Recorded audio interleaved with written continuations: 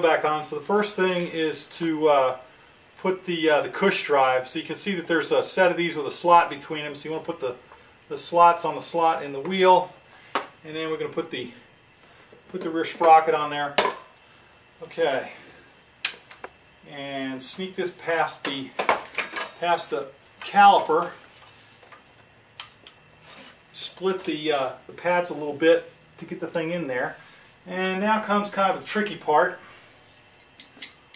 Gotta get the axle in. So one of the things that, I, that you can do is slip a 2x4 under it. Another one is to just put your foot under there.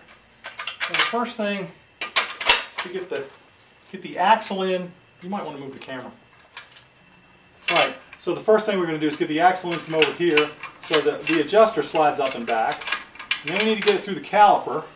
The caliper is going to slide up and back, out through the caliper. So now we need to get it up through the wheel. Stop.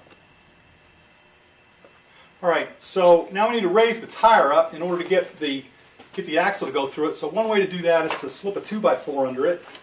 Now raise it up some. And you get your foot under there. All right, so now I've got the axle through the through the wheel. Got to get through the adjuster on the other side. There we are.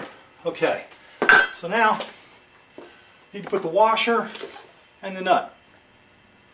I'm going to put the washer on and the nut. The new nut.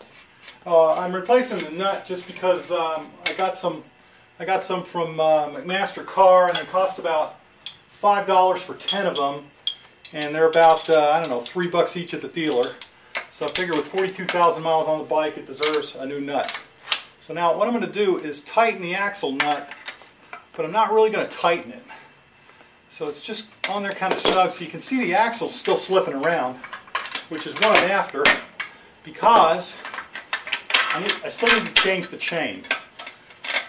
So I'm going to put the chain on.